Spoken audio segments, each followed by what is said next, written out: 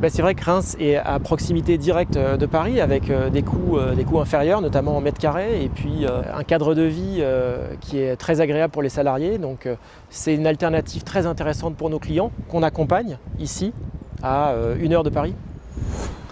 Antoine Hénache, je dirige le groupe HN, créé en 83, 1200 collaborateurs en France, en Europe et aux États-Unis. Une entreprise de services numériques qui accompagne ses clients historiques euh, principalement du monde de la banque assurance dans leurs projets informatiques, sur de la prestation, du recrutement, de la délégation de compétences, de la formation et également euh, sur des profils métiers. On crée aujourd'hui euh, une quarantaine de postes sur Reims pour accompagner plusieurs de nos clients bancaires qui sont ici présents à Reims. Invest in Reims a été un véritable partenaire dès la première heure puisqu'ils nous ont accompagnés dans la mise en relation avec l'université sur le relais de la communication, la mise en place d'offres d'emploi. Donc euh, tous les sujets RH, économiques, commerciaux ont été euh, accélérés via les équipes d'Invest in Reims que je remercie sincèrement.